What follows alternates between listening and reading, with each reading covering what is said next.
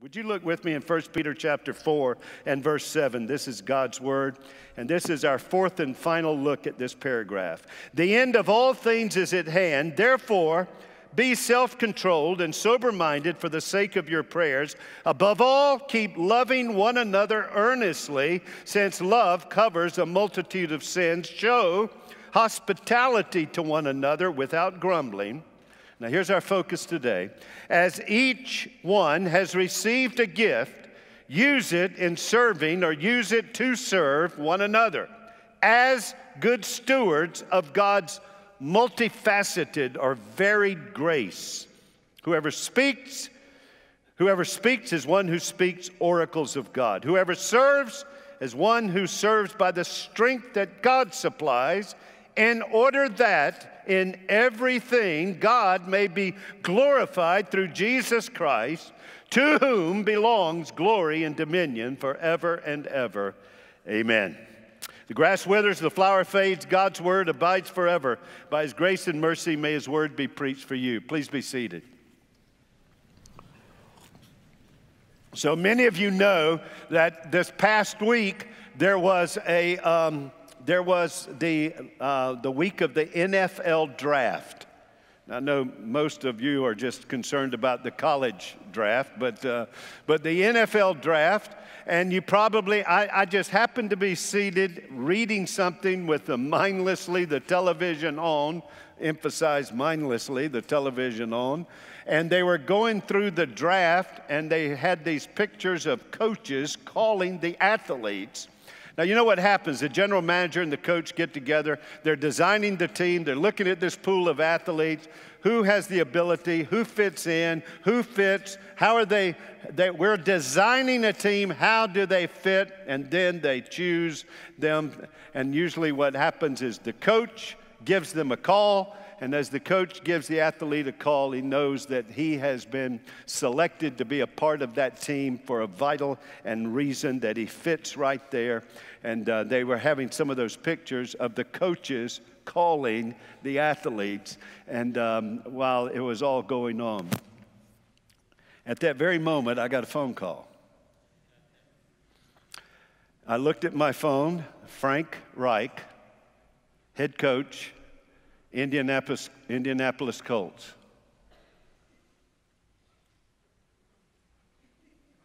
Could be.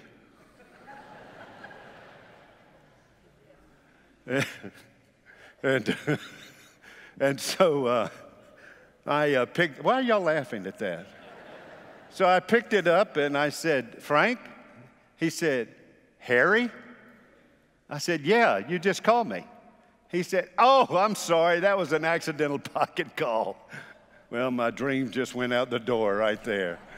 He said, uh, Hey, how are you doing? I said, Doing good. And uh, so we talked for a few moments. And, and so, even though the call came from a head coach during draft week, during the day they were calling, uh, and I got a call, it was not to be drafted, it was just an accidental pocket call.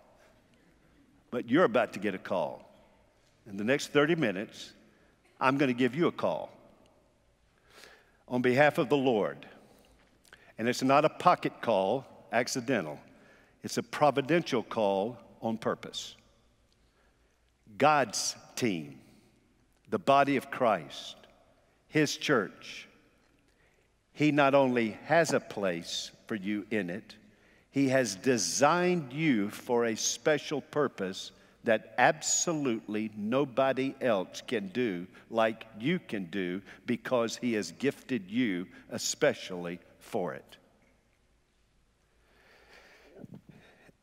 And He called you onto that team, into the body of Christ, that you are to be a part of it. Now, it's been a month since we were in this text, so I'm going to take five minutes, four minutes, and remind you of the context of this epistle. This is Peter. You can see Peter fulfilling the commission that the Lord had given him. The Lord, the last thing the Lord said to him personally after he restored him from his three denials was, Feed my sheep, tend my flock, nurture my lambs. And that's what he's doing, even though he's never been to these churches in Asia Minor. Even though he's only got the questions that they've sent him and the concerns that he has heard. Even though he doesn't, he's never been there and likely will never get there, he does know what Christ would have them know in serving him, loving him, and following him. And he does know what what they're going to face, and he does know who they are, and he does know what they're supposed to do. So he starts off by reaching into the Old Testament imagery of the people of God being set free in the Exodus through the wilderness to get to the promised land. And he says to them, You are elect exiles, you are elect pilgrims, you are elect sojourners. That's what you are.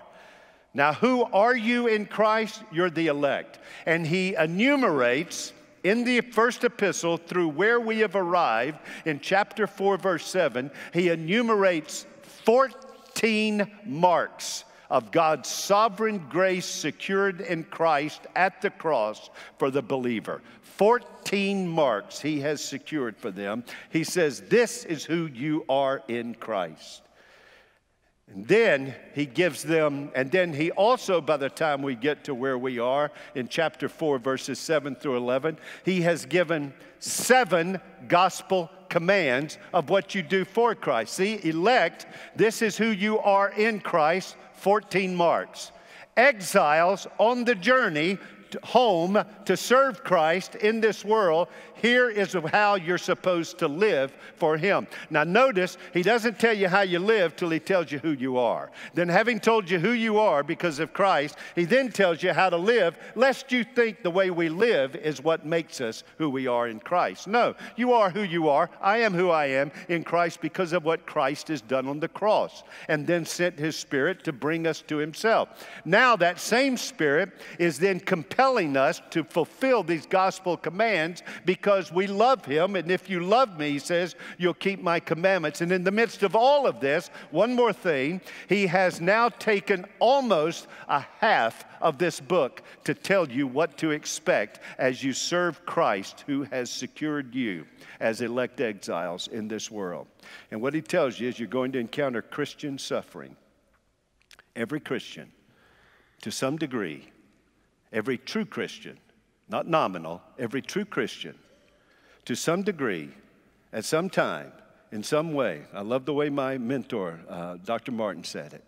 Every Christian, to some degree, at some time, in some way, will suffer persecution. Jesus said it, blessed are you, not if, but when men revile you and persecute you. If they persecuted me, how much more will they persecute me? James says it, John, uh, Jude says it, Paul says it. Paul says, all who live godly in Christ Jesus will be persecuted. It has been granted unto you not only to believe in him, but to suffer for his sake. So it's very clear to some degree, in some way, at some time, all who live for Christ can expect not parades, but persecution persecution, either upon livelihood or upon lives. Now, how should we respond? He goes from 1 Peter 3:13 all the way to chapter 5 verse 11 and we're right in the middle of it to equip us as to how to handle Christian suffering. Not Christians suffering simply because it's a broken world, but Christians suffering because they own Christ and speak for Christ. This is how you are to engage. You're always ready to give an account of the hope that's within you.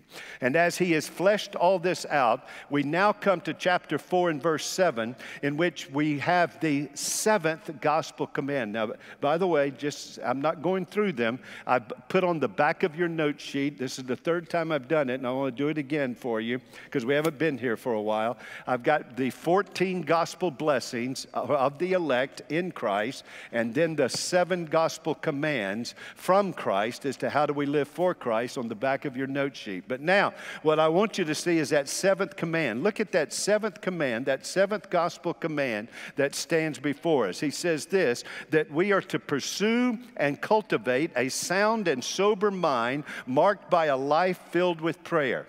So we're to have be sober minded and sound minded, and we are to be marked by prayer. And then he says this to us He said, Now I want you to know this.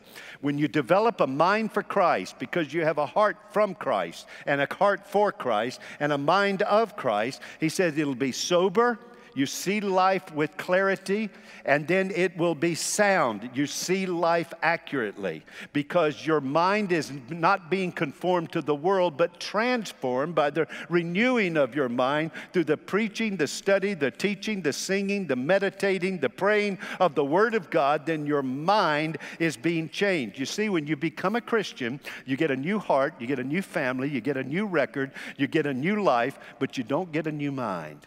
But you do get the Word of God and the Spirit of God, whereby you can renew your mind so that you can begin to think with the mind of Christ. And when you do, there is a mark of sobriety, there's a mark of, um, there's a mark of, uh, of um, sobriety and a mark of soundness, and your life will be filled up with prayer. Not only will there be prayer meetings, there will be a praying life.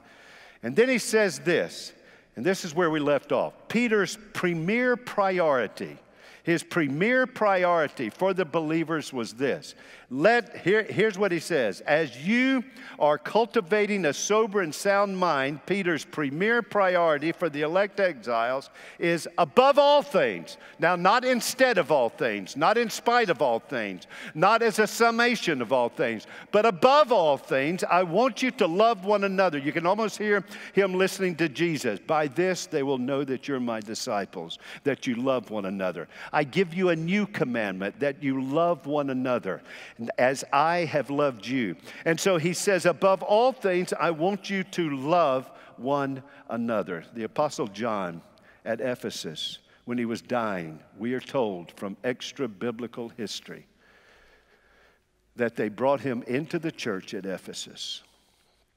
And as he was dying, they lifted him up off the cot. They had to hold him up. He could barely get any words out. And what tradition records was his repetition three times of one statement. He looked at the church and said, Love one another. Love one another. Love one another. And so, for the rest of chapter 4, verses 7 through 11, he's telling us about two kinds of love redemptive love and serving love. Redemptive love, your brother is going to sin. What do you do? Now, watch this, folks. Sin brings guilt, guilt brings shame. So, what you do is you want to love your brother away from the shame back to the cross because there is therefore there no condemnation. And you want to lead them to mortify their sins, not manage their sins. Every believer is a sinner saved by grace. So when we sin, we don't manage sin like it's a syndrome. We mortify it, we kill it. And when a brother gets caught up in an entangling sin, what do we do? Well, you know that sin brings guilt and guilt brings shame, but we don't shame them. Love covers a multitude of sins. It doesn't mean it ignores it. Bible tells us Matthew 18, if your brother sins, go to him. Bible tells you to bring one or two with you. If that doesn't work, the Bible tells you to bring the elders involved in it if that's necessary. But we don't expose one another. We don't expose one another. We deal with one another with proportionality. And then not only does love cover a multitude of sin, but we love earnestly. We keep stretching. Uh, the way, I mean, I don't I'm not going to discuss the Kentucky Derby yesterday because I didn't get a chance to work. But I know, I know how those horses run. They stretch out at the end. That's the very word that's used from the Greek to discuss fervently, earnestly. It means to stretch out in a race. That's the way we love one another. We stretch out ourselves.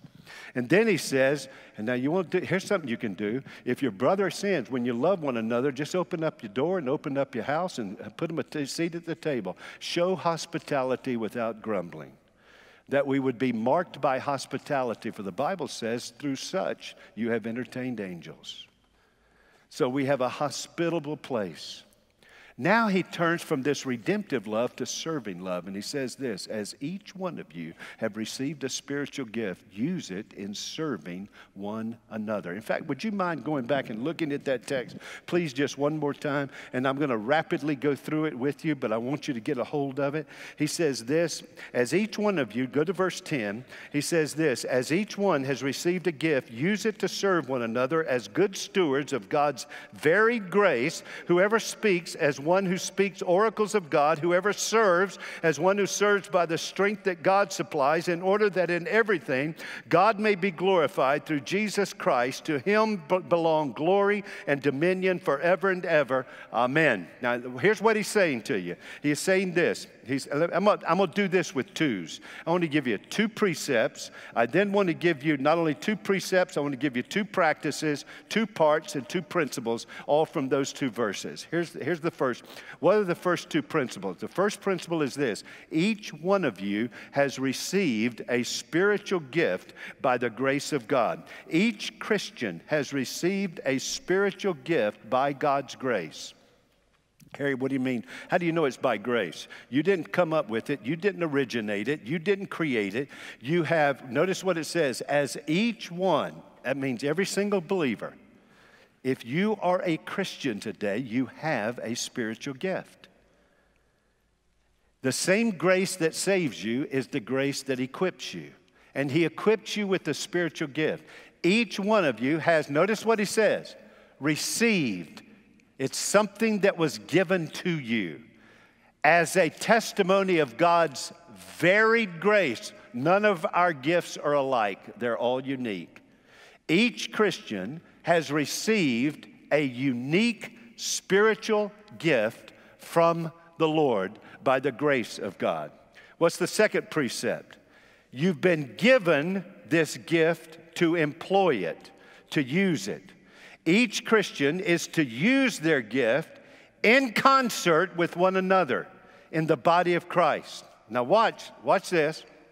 You're saved personally, you're given a spiritual gift personally, but you weren't saved to live privately, and you weren't saved to live isolated.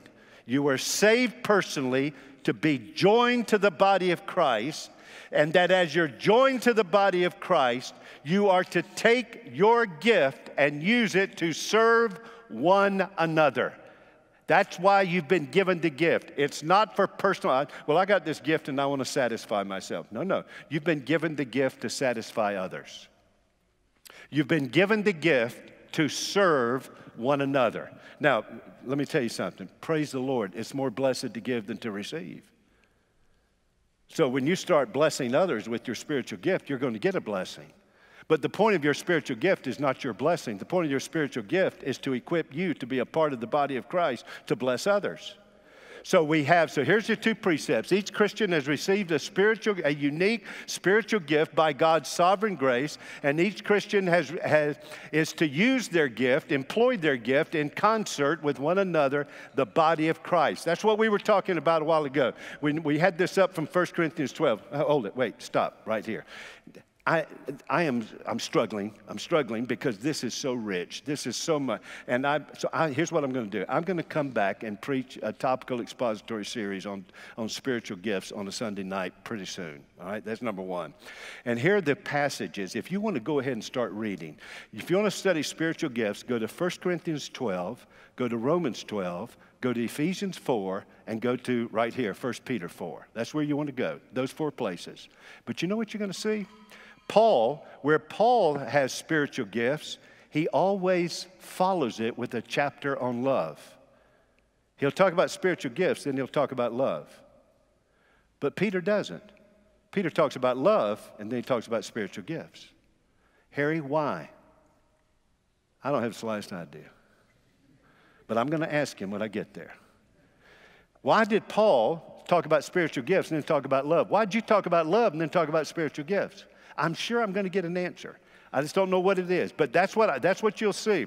And the other thing you'll see is, but Paul and Peter are in absolute agreement. Each believer has a gift, and it was given by the Holy Spirit, and it was given sovereignly. He gives his gift. Did you last thing out of your mouth in the confession?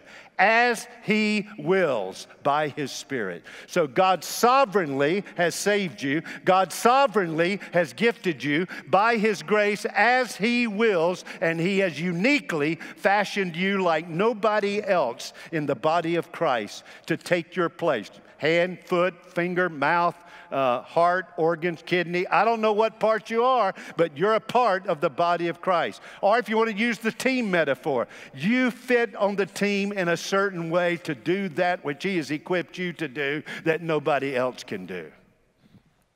So here is, so here are the two precepts. Now those two precepts are followed, I got to do this faster. These next two pre- are followed by two practices. What are the two practices? To use your spiritual gifts, you've got to develop a servant's heart. You've got to have servanthood. You've got to have a servant's heart. Use your gifts to, do you see it? Serve one another. You've got to have a servant's heart to use your spiritual gift. In other words, it's not, here I am, church, what are you going to do for me? If I may quote JFK, who I think robbed the line from somebody else, that's not what you can do for your country but what, and that's not what your country can do for you, but what you can do for your country.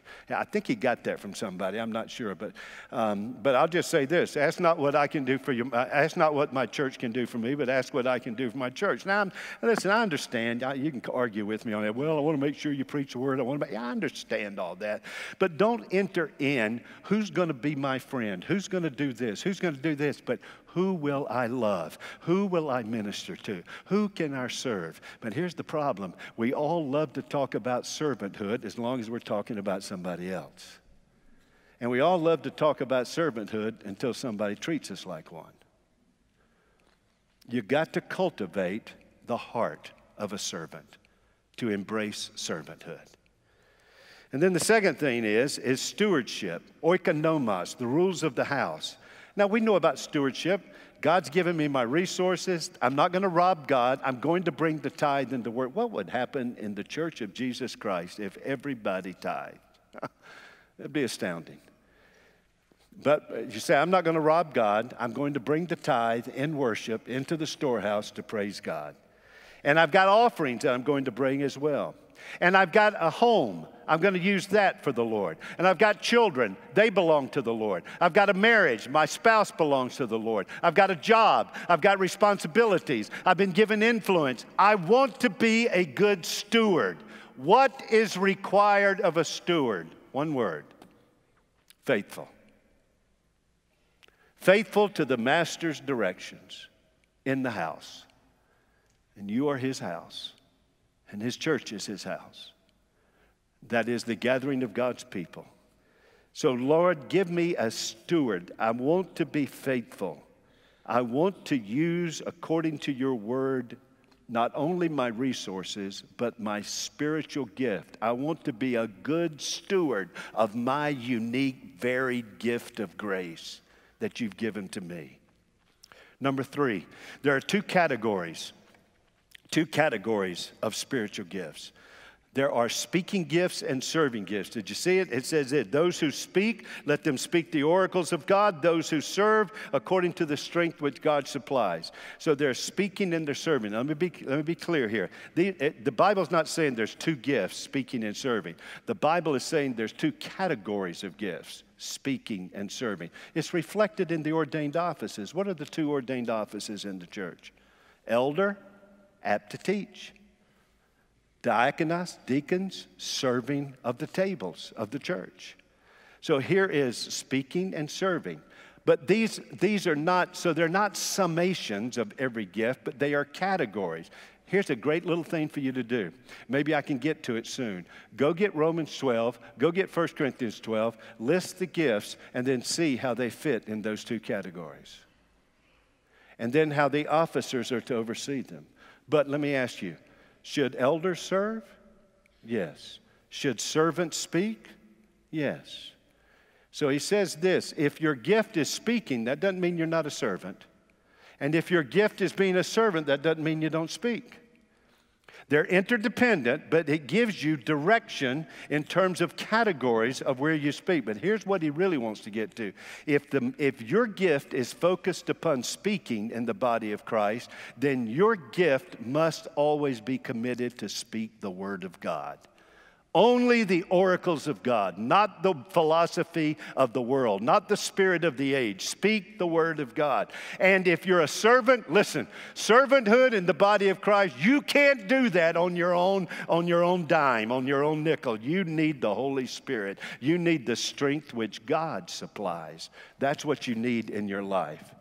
So you got two precepts, you got two practices, uh, two practices, servanthood and stewardship. You got two parts of the two categories that is speaking and serving, and finally there are two principles. Principle number one is this: you have been saved and you have been given a gift. You have been saved and gifted for one reason, and that uh, uh because of one thing, and that is the grace of God in Christ. You have been saved and gifted by the grace of God in Christ. It's amazing.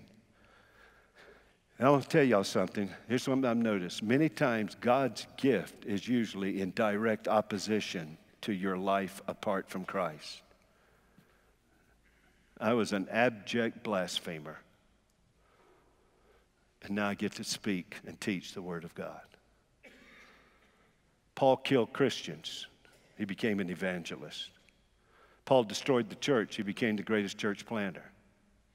It's amazing how God's evidence of his grace shows up, and nobody could say, Well, no wonder he's that. We, we could see that in his life. No, no. God not only forgives us, God equips us, and many times He delights in taking people from their vices in rebellion against Him and using that to create the virtues of how they can serve Him. So you have been sick, you have been saved and sealed and, and gifted by the grace of God in Christ. And then the second, the second um, principle is this you have been saved and gifted for the glory of God in Christ. Why? You don't have to, you can't miss this, folks. Here's what he says Why has God called you to this? Here's what he says He says, In order that in everything, in everything in your life and in the church that belongs to Christ, that in everything God may be glorified. How is God glorified? Through the preeminence of Christ. To him belongs glory and dominion now and forevermore. Amen. And so that is the two pre that is, you have been saved and gifted by the grace of God in Christ, and you have been saved and gifted for the glory of God because of and for Christ. That's what He has done in your life and in my life. So let's finish up with these takeaways. Here we are. Here's the first one. Let's just, now you're going to say, Harry, these are obvious. I know they're obvious, but folks, I'm, do, I'm trying to do what my granddaddy used to do. My mother's daddy, uh, he was he was a carpenter. When he'd build things, he always said, "Son, go back and set the nail." So I'm trying to set the nail for this in your life. I want to set, not just hammer it down. I want to set it for you. So here's the first takeaway. The first takeaway is this: is that each and every Christian has received a spiritual gift by God's grace. You know what I was going to do? Uh, I, I, I, came very close to doing this, and I didn't do it in the first service, so sit easy. I'm not going to do it in the second service. I was just going to have everybody who has publicly confessed Jesus Christ as Lord and Savior and surrendered Him to stand. And, uh, but I'm not going to do that to you. I am going to ask you to, when you leave here, to stand for Him when you get out of here. But I won't ask you to do that now. But I do want to tell you this the reason I was going to ask you to stand, because I wanted to tell you face to face, heart to heart, you got a place on the team. It's an important place. Nobody else can take your place. There's nobody gifted like you. You know, one guy talks about spiritual gifts. Given, remember what we just, remember what you just confessed? By the Holy Spirit as God sovereignly has appointed them. You are a testimony of God's unique fashioning for ministry. Now, all of us are supposed to worship. We're to share the gospel. We're to disciple. We're to grow. We're to love one another. We're to pray. But some of you are gifted to pray. Some of you are gifted in worship. Some of you are gifted in evangelism. Some of you are gifted in leadership. Some of, we all are to lead in our families and lead people to Christ, but some of you are gifted to lead. And, you're, and not only that, your gift of leadership is not repeated in the lives of other leaders. Your gift of prayer is not repeated. You have a very special gift of prayer, a very special gift of evangelism, a very special gift of disciple making. That you have that. It's like one guy pictured it like a snowflake. The snowflake as its fall, here's this in this way. Every snowflake just looks like a snowflake. But if you put the microscope, you see no snowflake is like another one. They're all unique. So we all have the gifts to serve the Lord with worship, evangelism, love, and prayer, but we are shaped in a certain way that nobody else has. You know something else we learned about that snowflake? Not only is it unique, but it changes its configuration as it comes from the clouds down to the earth. Your gift is not only unique, it's not static. There's Philip, a deacon, ending up as an evangelist. There's Stephen, a deacon, ending up as a preacher. Your gifts are not static, they develop throughout your life. But each one of you have one. There is no useless Christian. There is no giftless Christian. There is no, uh, there is no um, there is no exception. Every Christian has a unique and important gift in the body of Christ that is at work, and no gifts are superfluous. Everyone's crucial, all of them. In fact, sometimes well, let me, let me do it. Let me go and give you number two. Number two is this I'm, I'm going to move ahead. Each Christian is responsible to develop and deploy their spiritual gift. You're supposed to develop your gift as a good steward, you're supposed to deploy your gift as a servant and you're to, you got your gift. Be a good steward. Stir it up. Remember what Paul said to Timothy? Stir up the gift that's within you. Develop the gift that's within you. Work on the gift that's within you. Stir it up that it might be used, that it might be effective, that it might be there to serve the Lord. It's not static, it's always developing, then keep developing it. And then the best way to develop your gift is to start using it. Folks, you can turn a ship that's moving a lot easier than one that's, that's sitting still in the harbor. So just get engaged, start using your gifts, get feedback from people. So you, de- you develop your gift as a good steward. You want to be faithful. What gift has God given to me? I want to develop it, I want to use it. And then you use it as a servant. Um, you know, when you do hospitality, I tried to use uh, Pastor Martin's illustration. You want your home to have an open door and a shared table in servanthood, just look to Jesus. Live with the basin and the towel. I graduated from Westminster South. When I graduated, I went across, and the dean gave me my diploma, written in Latin. I still can't interpret it yet, but there it is. He gave me my diploma, and then he gave me a towel with my initials on it. He said, Congratulations, you now are qualified to wash feet and serve. And therefore, it hangs in my office to remind me I wasn't called to be at the top of a heap. I was called to the basin and the order of the basin and the towel. We've got to develop servanthood be good stewards, stir up the gift so that we can use these gifts for the Lord and then start watching them. Let me try to give you this illustration. In my first congregation I pastored, we started small groups, and there was a guy in the church, young guy with a wife and a couple of kids. He said, Pastor, I love small groups. And I said, Great. I'm going to call him Joe. That wasn't his name, but I don't have his permission, so I'm not going to use his name. But Joe, I, Joe said, Pastor, I love small groups. I want to lead a small group. And I said, Well, let's find out. Why don't you go with me? I'm starting a small group, and you you come and help me, and then I'll hand it off to you. So we started with six couples, counting his, um, me and Cindy, and he and his wife. And when we finished, we had, we had four more couples, and it grew to about 18. And I said, okay, we're going to, I'm going to hand this off to you, Joe. And I handed it off to him, and I went off to start another small group. Well, about three months later, one of the people from the small group called and said, Pastor, is it okay if we come to your small group now? I said, no, no, stay in that small group where Joe's leading. He said, well, we're not meeting anymore. It just kind of went down to two couples, and we've quit meeting. So I went and rescued Joe, and I said, Joe, come on, let's do this again. So we did it again. You know what happened? I handed the second group off to him, and it went down to nothing. So I, you know, I'm, I know if you keep doing the same thing, you got failure. That's not a very smart thing. So I said, well, come on, let's do it again. But this time, I'll lead it, and you and your wife host it. Let's see, let's just kind of work through this.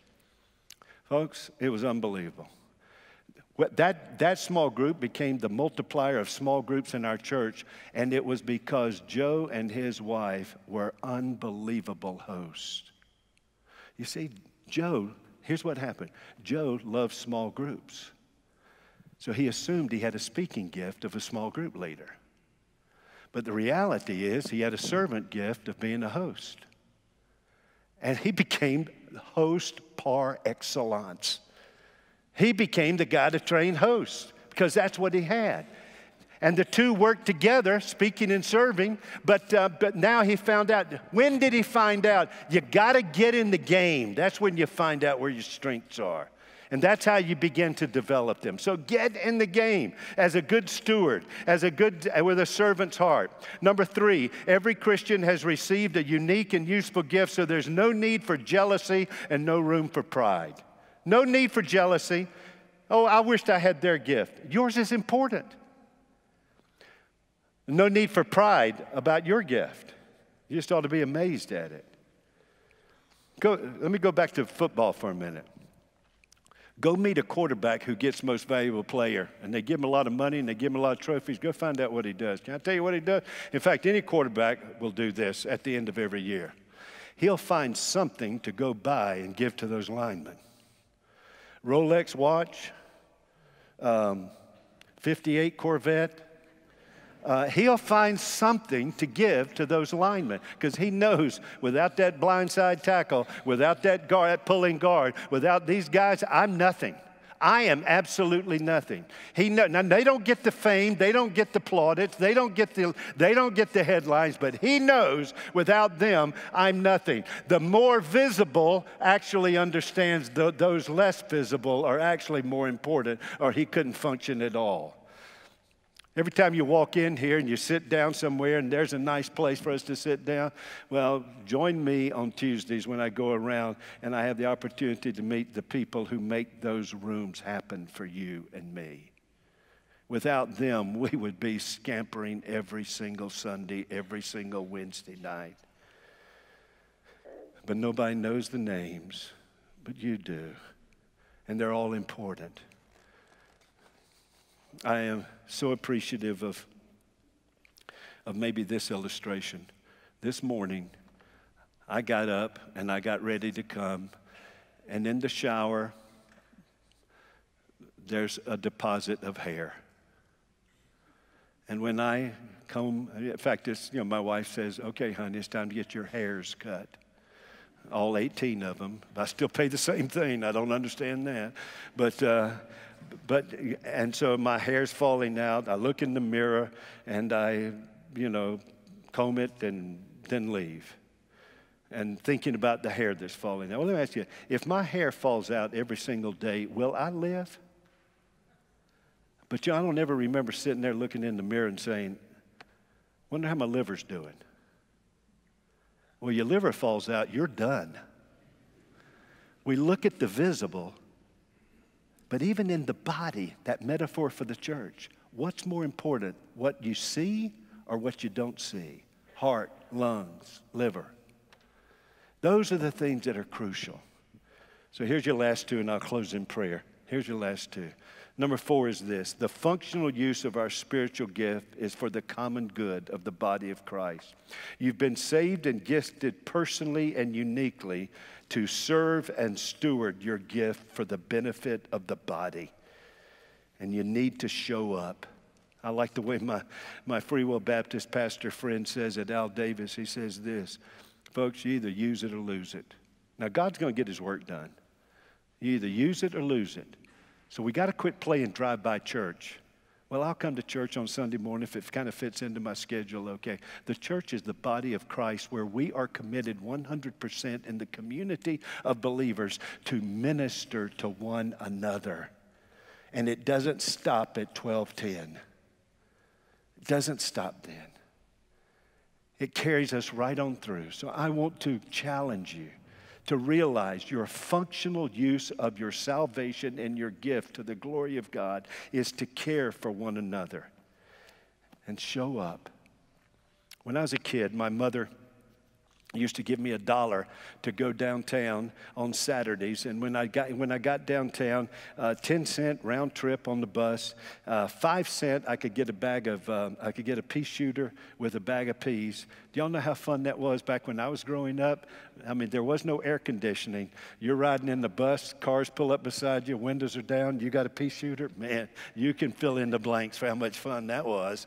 And then, uh, and then I'd get there, and then I got, a, I got 25 cents to go to the movie, and I'd stop and I'd get, I got an orange, I got a hot dog, I got uh, uh, popcorn, and my dollar went a long ways in those days. I loved it, but I'll never, here's what I don't, here's what I'll never forget. When I would leave Sears and Roebuck to walk to Carolina Theater, I always passed the White Castle restaurant. There's a hamburger place. And when I walked by White Castle, there was a guy out front with no legs. He had a leather saddle that was under his two stumps and he was blowing on the harmonica. He couldn't play it, but he was just blowing on the harmonica, and people would come by.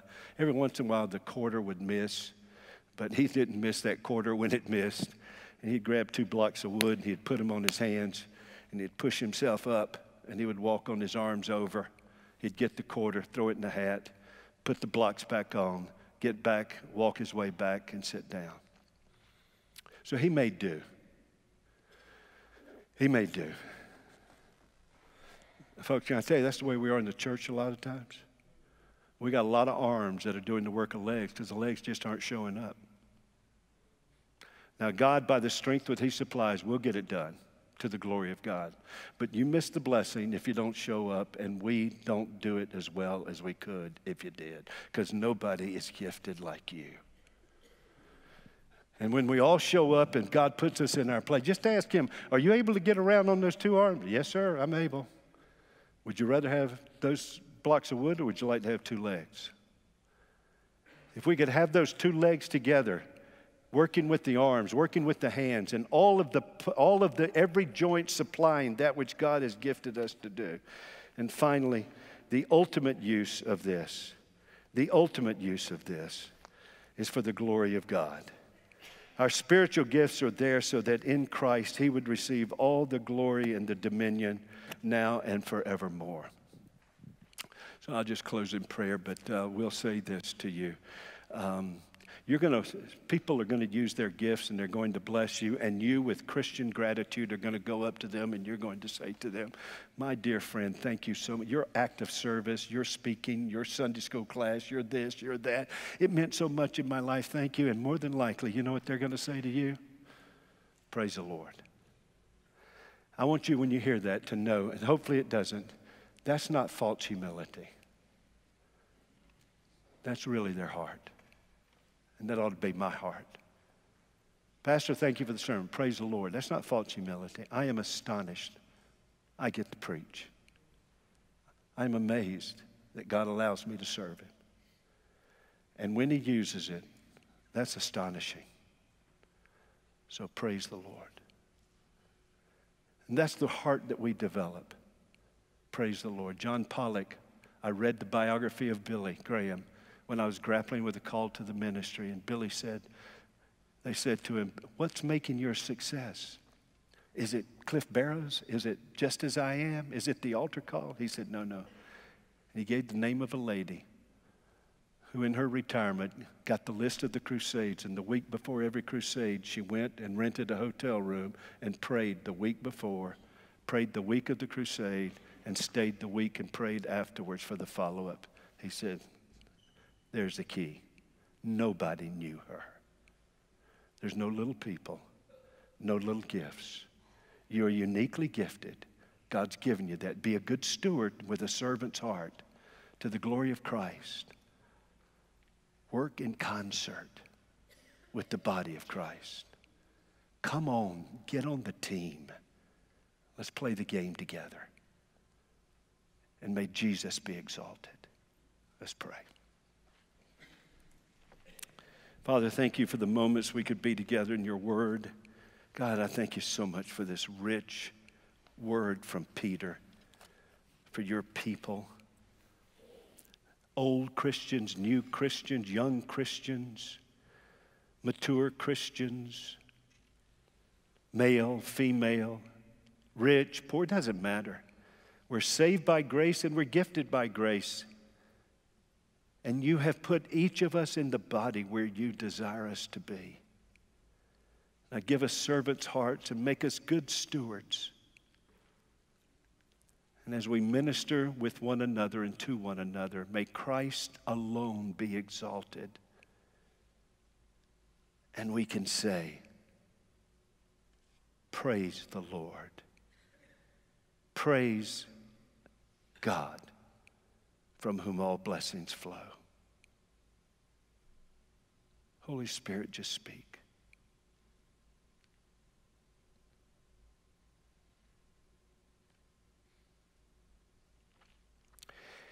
In Jesus' name, amen.